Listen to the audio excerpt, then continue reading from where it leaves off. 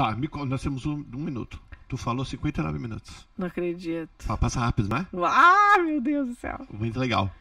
Deixa eu fazer uma pergunta. Bom, hoje, tá com ele? Tá bem? Tá ruim? Tá Tá, bem, mais ou tá bem, menos? tá bem. Quais são as maiores diferenças, até a nível de curiosidade, pela tua experiência? Lembrando, pessoal, pessoas são pessoas.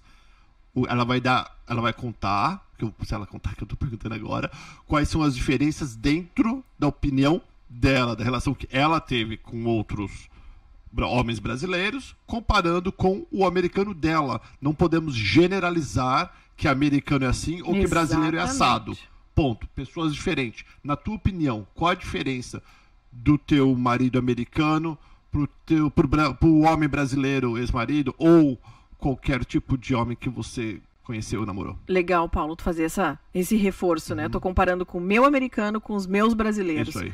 Respeita muito mais a mulher. O americano. O americano respeita Quando muito você mais. fala respeita, aí eu quero saber o quê? Porque é respeita porque o homem, o, o, o que você conheceu não respeitava, mas o, o respeito também é muito Amplo. Amplo. Vou te dar um exemplo, então, bem prático que está acontecendo hoje, exatamente. Se eu tivesse namorando um brasileiro, casada com um brasileiro, nesse momento, ele iria estar. ah, mas quem é o cara? Quem é esse tal de Paulo? Né? O, o que que tu vai dizer para ele? Ele sabe que eu tô aqui. é, ele sabe que eu sou uma mulher bonita. Ele não fica me enchendo o saco. Ele não fica é, dizendo que eu vou para me insinuar, que eu vou para isso. Ele respeita absolutamente tudo que eu faço. O meu marido hoje, ele respeita todas as minhas escolhas. Profissional, pessoal, ele não critica foto no Instagram. Ele Mas por que você não coloca a foto pelada também, né? eu não, sim, eu também não me exponho, né? Uhum. É, eu, mas assim, ele é um homem que me respeita totalmente nessa questão das minhas escolhas, sabe? O que eu escolho pra mim, tá tudo bem, tá tudo certo, ele vai respeitar. E você em relação a ele?